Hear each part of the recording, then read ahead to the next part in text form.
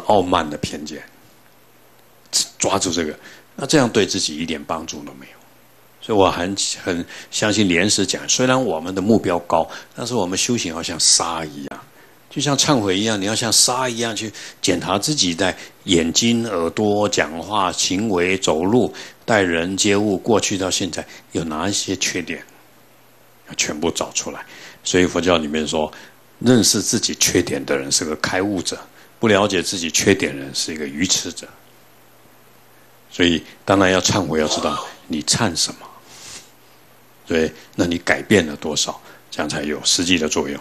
好，哦，我想请问，就是您之前说学呃显密显，就是说呃学一些理佛经的理论，然后密呢就是身口意方面的呃修行。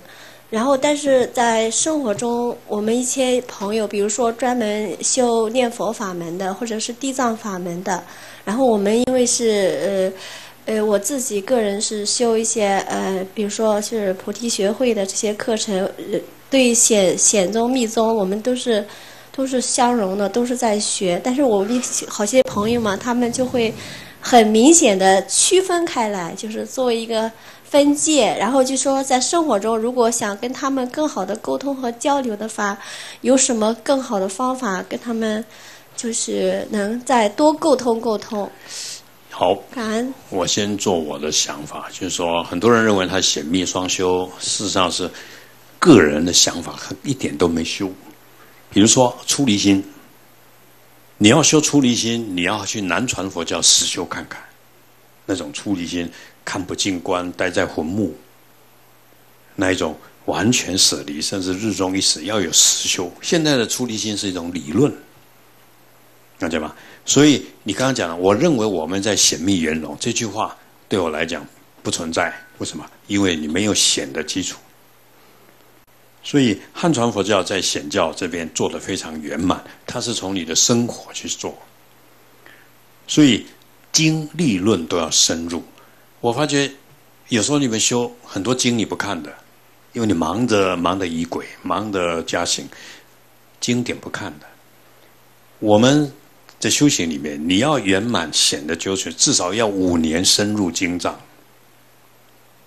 佛陀所讲的经典，从开始到最后你要了解。但是我发觉很多人不看，直接就跳入祖师说的论说的，佛重要还是祖师重要？所以在这一点，我是觉得没有的，只是说你刚刚讲到，你他们为什么跟你格格不入？应该是你自己跟他们格格不入。我是什么学会的？我是什么学会？你已经把自己画个框框了，跟别人的思想都有一点对立的。为什么？因为在这个小小的范围之内，就一直认为这样是对，但是对外界的完全不不融合，不在一起。所以现在会有这个问题，这个问题会造成别人对你排斥。所以老师说，藏传佛教在某一些事件被很多事件是对立的、攻击的。这是为什么？因为在某些时间，他我这个法很傲慢，但是时代已经变了，现在是一个网络时代，不能在自己一个山头在修，自己一个法门，自己一个上师在修。如对上师的观念是。这个上师我尊敬他，以对上师的尊敬去尊敬每一位法师上师可以，以对一个本尊的的认同去认同所有本尊。就像我今天讲韦陀菩萨，很多修密宗，什么是韦陀菩萨？仪轨知道吗？不知道。这个是最大的问题，因为罗菩萨不是我们密宗的所以我想认为，在这一点，我认为我们汉人。还是要把汉传佛教的先圆满，我们去吸收藏传佛教的精髓可以，也去吸收南传佛教的精髓可以，但是不要把自己归类为我是藏传佛教了。那这一点要注意，面对说他会觉得你们是学西藏的，我们是学中国的，变成是是我们自己跟人家搞对立，所以这个观念一定要一定要注意。再来。不管你写哪一个显贤密都无所谓，问问你家人可不可以接受你，这一点看你自己，不见得说，你你修哪一个学会这样子，而是佛法是让人表现出来，你跟亲戚朋友看到你越来越进化，越来越有爱，越来越关心对方，而不是我每天不要跟我讲话，我还在修十万遍，啊，那你已经在脱离对方，你已经在隔绝对方，然后美其名说我在修行，这是最恐怖的事情。所以，我想在这一点，呃，在经典说，千万不要让自己归类在我是某一个团体。请记住这句话，这样你就没有空性。你要把它归入一个我是某某教派某个团体，这是这是圆满去凸去去凸显自己的对，然后去认为对方的不圆满，这是违背空性平等的道理。我应该这么说啊，希望我没有得罪你。那个法师，那个非常感非常感恩能够跟您这边见面，然后昨天也跟您简单聊了几句。嗯，今天其实提到的这个智慧的力量的话，我我我我有一点也一直在记录，就是您提到说不要把烦恼就留在明天，就是在今天其实就能够把它处理掉。但是这一点上，我现在觉得特别的难。嗯，就是。刚才那位师姐也提到说忏悔，其实我现在更多的是一种后悔或者说是遗憾，就是这种这种情绪或者这种感觉一直都困惑着我，我不知道这个有没有什么方法可以去去改善的。然后在诵经的时候，我会得到缓解，但是念完以后或者说自己平静下来的时候，就又重新回到之前的那种状态。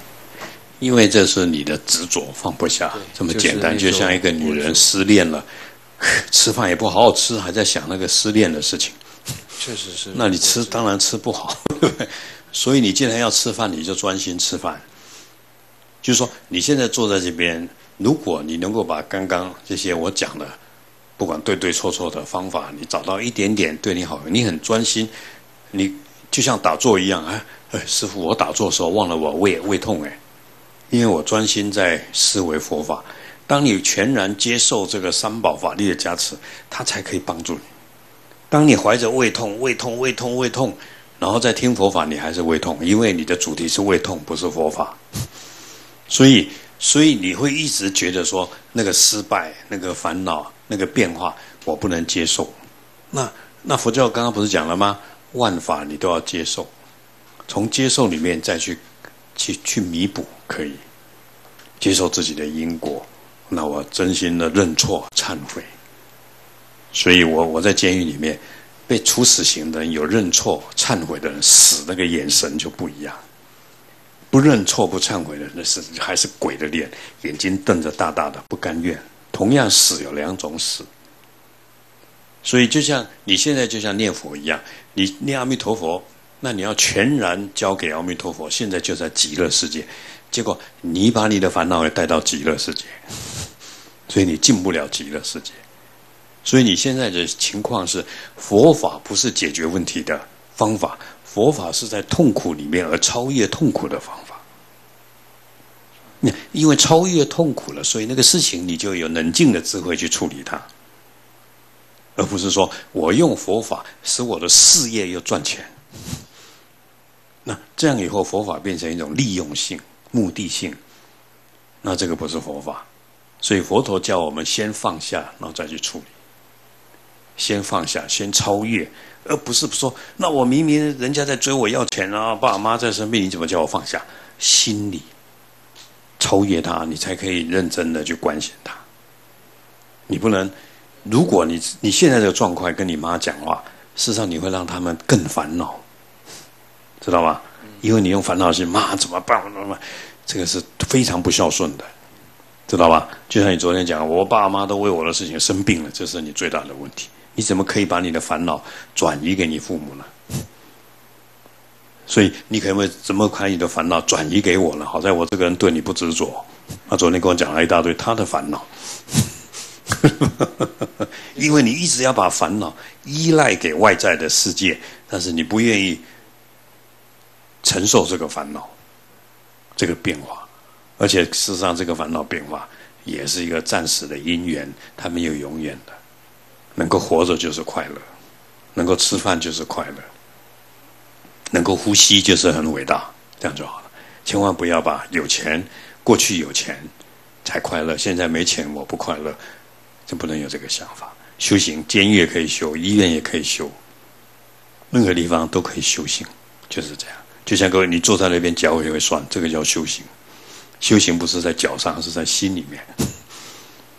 啊，所以我想你还是先接受这些。所以现在你不能谈这些，你只能说接受它，什么都不要管，赶快念阿弥陀佛、读心经、念阿弥陀佛，让自己的情绪。所以佛陀说，你要解决世界没问题，没办法，你先去极乐世界再来解决。因为从你去极乐世界得到一个空性的智慧跟一个不退转，你再回到这个世界来解决问题。因为我们现在没办法，千万不要一个强迫说我要用什么法可以让我恢复我的金钱，恢复我的健康，这个想法，嗯，不是佛法。佛陀最后也是死了，但是每天都会遇到不同的，那就每天当做修行了。赚钱也会烦恼，没钱也会烦恼。这个世间本来就是烦恼，这个世间叫五浊恶世，堪忍的世间。不然我们干嘛要佛法？头痛完了以后脚痛，脚痛完以后什么痛？反正随时都会痛。像我出门要带一大堆药，以防万一。所以他们生病都来找我，我说你们都不带药，你们都不会生病的。我事实上是为他们带的。肚子痛、感冒都吃我的药。我这种妈妈的心态，妈妈出门了，奶瓶什么都带好了，尿布 又不是妈妈要用的。所以我想在这一点，不要怕烦恼，这个是修行最好的助缘。好，最后一个问题，我们要赶快了。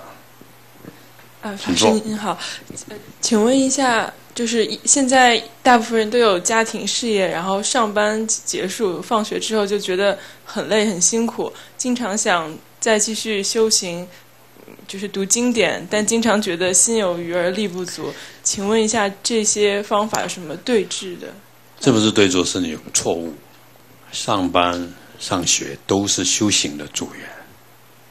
利用上班去感谢你的老板，利用上班去服务你的客户，把自己的工作做成有一个很好的动机，一种无所求的奉献。那这个就是修行。读书那是为了服务世界。我读了这个些知识，我可以帮助这个世界，在医学方面，在政治方面，在社会方面。所以，那讲课的老师变成佛在讲话，我们呢也在吸收他的智慧。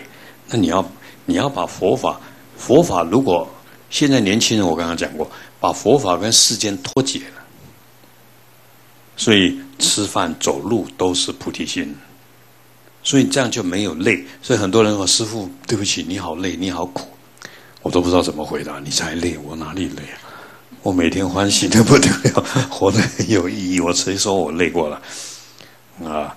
所以我因为我能够去做一个修行人，然后来大家讨论讨论佛法，因为我存在多放一只鱼，我都很快乐。这没有累不累的问题。所以，但是用世间法来看佛法，当然会觉得，就像我们要出家，妈妈哭的要死，你好痛苦，要去做乞丐。我说妈妈，你才是乞丐。对不对？我要去快乐，我要去做皇帝，你说我做乞丐啊！我要脱离监狱了。你看我结婚七年，快快完蛋了啊！所以当然对父母来讲，他不能够理解。所以你现在的方法是，你要把佛法是个道理，把这个道理应用在你现实的生老病死，而把这个事情做得很好，却不执着这个事情，了解吗？什么叫佛法？你去上班不是为了钱，只是为了让老板、让员工、让社会快乐，那不是佛法吗？不是为了钱，反而老板是加你薪水，哪里找这么好的员工？啊，因为你在修行，修什么？修忍辱，修空性，修悲心，对不对？啊，而且这些资粮就成为成佛的菩提心的资粮，那你不会累，而不是说对不起，我没时间了，我还要读经，我还要修行，我还要上课，那完蛋了。现在我发觉很多人用这样去修佛法，这会伤害到佛教。这样好。阿弥陀佛，慈师父慈悲，弟子想问一下关于这个纽约这个短期出家的活动，嗯。